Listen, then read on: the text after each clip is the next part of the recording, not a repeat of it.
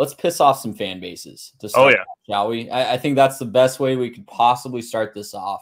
Let's make some people really angry. AP new AP poll came out yesterday, as it does every Sunday. Looking at the top 20 as we sit here going into week three, what is one team that you would bet the farm is not going to make the college football playoff? Man, I kind of waffled on this a little bit, and uh, again, this is the the rational conversations, right? Taking a couple days to digest it, right? Uh, but I kind of waffled on this a little bit. There's a couple that I'm nervous about. You know, there's teams like Michigan, who I'm like, yeah, you know, but I can't really commit to Michigan not doing it because I know what they have on campus. They got that you know kind of winning thing going on. I know they didn't look good against Texas, but they still could do it. They are the defending national champions. You know, you got Utah. You know, maybe losing Cam Rising. Not really sure what they're going to be losing there um, if he's going to be out for an extended period of time, if it's only a couple of games, they should be talented enough to float some of that schedule. Man, I got to tell you what, I think Notre Dame kind of sealed their fate a little bit early in the season. And look, it, it kind of stinks because, you know, the, the Irish don't have that chance at a top seed, obviously not being in a conference, but when you look at the rest of their schedule, I'm not even convinced that, that after the performance we just saw out of the Irish that they can run their schedule like we thought they might a week ago, right? They looked really good against what we thought was a really good A&M defense and you know, I think still probably is a really good A&M defense and and you know, thought maybe these are the guys who are going to be able to just shut people down and and find a way to overcome whatever they're facing. And then NIU comes to town and massive, massive sleeper and, and massive upset. So I'm looking at the rest of the schedule for Notre Dame. I'm, I'm looking at a couple of games like, you know, look at Miami, Ohio. I think that's a better team out of the MAC than Northern Illinois. Um, I think that's, you know, I mean, they're the defending champions. They're everybody, pretty much everybody's picked to win that conference. Um, I did have NIU making the championship game in the MAC, but I still think Miami probably ends up winning it. Louisville, that's definitely not a slouch of a team. Georgia Tech's looked pretty good to start the season. Uh, obviously, Florida State maybe not as good anymore. We'll see.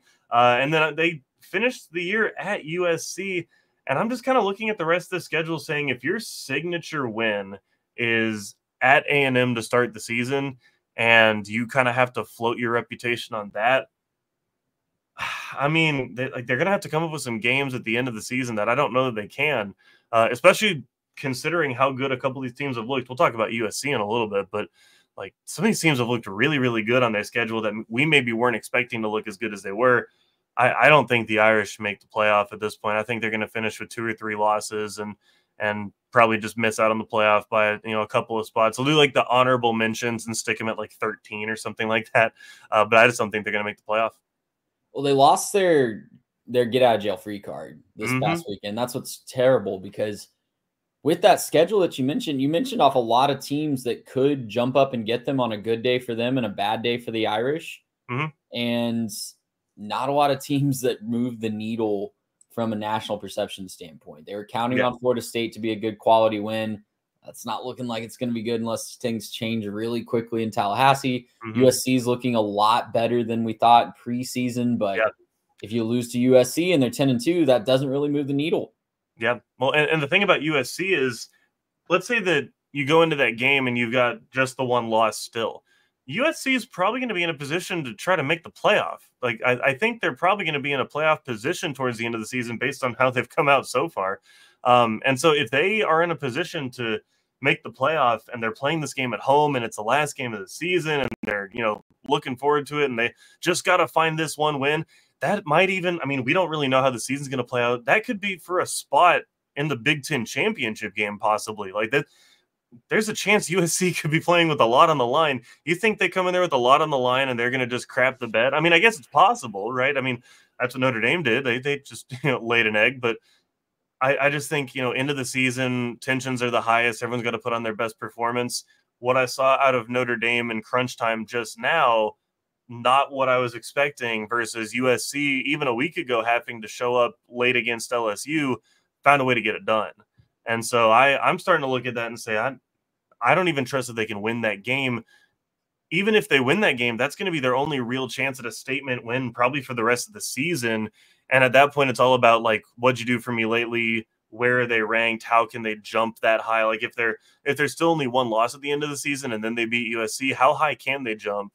Uh, where were they ranked at first? You know, where where do the college football playoff guys have them ranked? Uh, it, it's going to be interesting to watch for sure. I'm I'm really curious to see how this goes, but I, I just don't think Notre Dame makes it. Well, from a team that has uh, strength of schedule issues, I'll take you to a team that is going to run into some buzz saws. Didn't look exactly great against the soft part of their schedule. I'll tell, talk about the Oklahoma Sooners, currently ranked um, right there at number 15. Barely got by the Houston Cougars 16 to 12 at home. They need a late safety to keep that from being a game where a field walk off field goal could get them. Garrett, I, it's it just doesn't seem like it's coming together early on in the season. Now everybody's allowed an oopsie game, right? And thankfully, uh, unlike Notre Dame, Oklahoma won their oopsie game. They snuck out of there with a victory against the Houston Cougars, a really really bad team on paper, better coach this year with Willie Fritz, I think, but a team that should not be competing with them with the talent that they have on the field. No. And they have not run into the meat of that schedule yet. If you go by the AP top 25 this week, Oklahoma will face five of the top seven teams in the current top 25. We tried to tell you.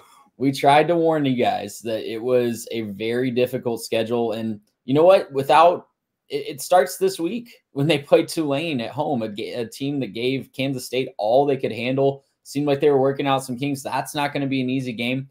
After that Tulane game, they welcome Tennessee go to Auburn. I know Auburn lost to Cal this week. They have a lot of problems, but that's mm-hmm. another talented team. But then the real meat hits the Red River rivalry against Texas. And a South Carolina team that's riding high right now has a chance to make some waves against LSU this weekend. At Ole Miss, the Maine Black Bears at home, at Mizzou, a bye week, Alabama, and at LSU. Garrett, if they can run that gauntlet, even if they lose two games, I say give them the number one seed. I don't care about the rules. I don't care about the um, automatic berths to the conference champions. They should write a rule that says if Oklahoma only loses two lot two games down the stretch, they should be the number one seed because they'll be the most battle tested team in the country. I have a hint for you guys. I think they're going to lose more than two games. Yeah, I I actually kind of like that because this schedule is brutal, man. This schedule is as bad as it gets. Um, look, it's it's unfortunate, but like they've played two of the games that I think they've had the best chance of winning outside of that contest with Maine and you know the beginning of November.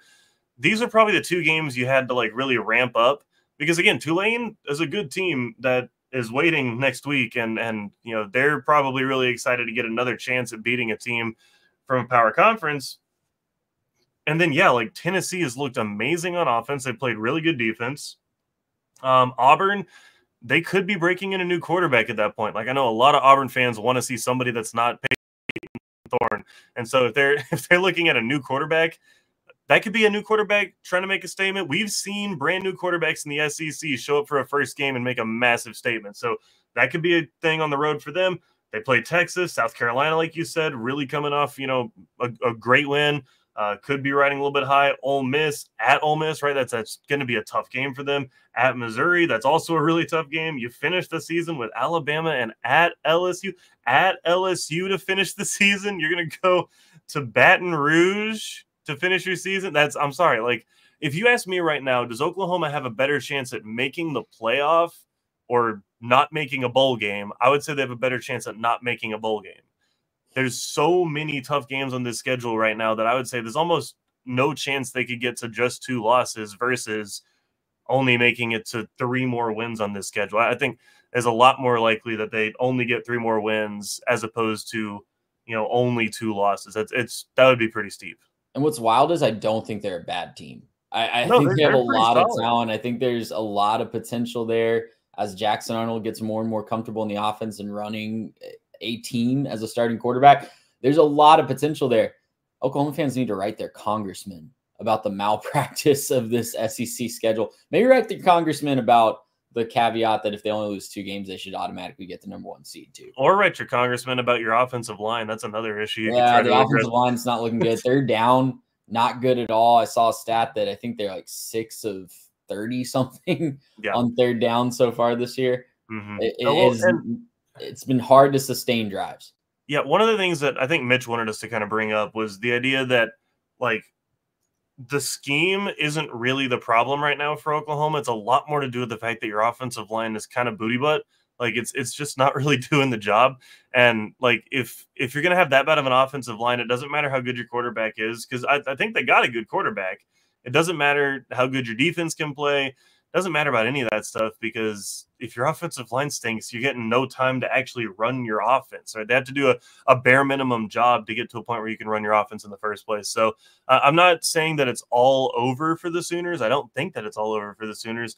They just got to find a way to turn this thing around. They got to find a way to to you know they, they need to look good against Tulane. They need to come out against Tulane and win by like 30. If they can win by 30, that can be the kind of confidence you need Right. You need something like that to boost your confidence going into Tennessee because after Tulane, it, it's I mean just an absolute meat grinder of a schedule, and and I think that they're going to be in for a little bit of hurt.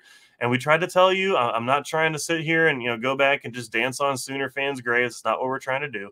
But like we tried to tell you in the offseason, like, hey, it might be rough because your schedule kind of stinks, and you know, whoever it was at the SEC offices that decided to give your rivals down south the easiest possible schedule to enter the SEC with, and you get the exact opposite. Like, I don't know who made that schedule and, and who hates you at the SEC offices, but you got to go talk to them about it because this isn't the SEC's fault. This isn't, you know, the, the other conference members' fault. This, this is the SEC office's fault for doing this to you. And so, you know, look, you could have had a couple extra games against a, you know, a Kentucky or a Vanderbilt or something like that, but instead, you know, we're we're here. This is where we are. Maybe I'm, you know, maligning Vanderbilt unfairly. Diego Pop. Hey, that, yeah, that's an undefeated Vanderbilt team. That is an undefeated Vanderbilt team. Maybe I'm maligning them unfairly, but yeah. it's still it's it's it's a tough Kentucky's schedule this year after what they put on the field on Saturday. Mm-hmm. Kentucky's and, absolutely fair game. Oh yeah, for sure. Kentucky's yeah. Speaking of booty butt, um, no, they're they're pretty bad. But no, like again, your point at the beginning, a little bit of an optimism for Oklahoma. You have the chance to really prove something. Like a lot of these teams that you're going to try to recruit directly against, you have on the schedule this year. So go beat all those teams, and you're going to go get a lot of recruits, and you're going to make some waves going into the offseason. You're going to get anybody you want in the portal.